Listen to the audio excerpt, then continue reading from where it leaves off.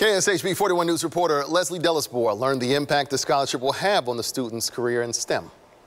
If you keep working at it and believing in yourself, and um, I you would be able to accomplish many things. That's the advice Lindsey Chiu continues to tell herself while following her dreams at Georgia Tech University, pursuing a career as an aerospace engineer, thanks to a $10,000 scholarship from Lockheed Martin. I just saw that I won this giant scholarship. So I was like on the verge of crying. It was great. My mom was screaming, and it was just a super fun time.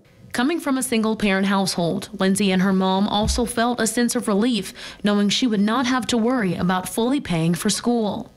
We were unsure if we were able to pay for like the last year of college. So uh, with this scholarship, we would definitely be able to afford it and it's definitely a big weight being lifted off my shoulders. Excited about the next four years at her dream school, she's thankful for the last four spent at Shawnee Mission South participating in robotics and other STEM focused clubs. Yeah, it just really helped me find out that I love putting things together and designing things. Um, I was like one of two or three girls in there in the t- in like the entire team, so that was a little discouraging, but um, I really enjoyed it, so I just kept going with it.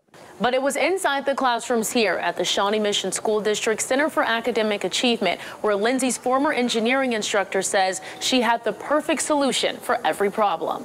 And she just grew with every one of those classes. You could see all of her her synapses in her brain just making connections with different ideas and her passion just started, but she was still small and quiet. Not letting anything stand in her way. She has confidence, but it's not overbearing. It's not in your face. It's just strong poise.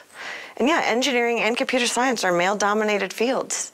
And that does not faze her at all. So she can make a future for young women of tomorrow. We are like the future of technology in society. Technology is going to definitely push us forward in life. And um, it's a little discouraging at times, but in the end, I think it's completely worth it. In Overland Park, Kansas, Leslie Delasbour, KSHB 41 News. You know, let me just say, if she's the future, the future is bright. Very, very bright. We like telling stories of people giving a helping hand to others in our community. So share a positive story with us on social media and use the hashtag We See You.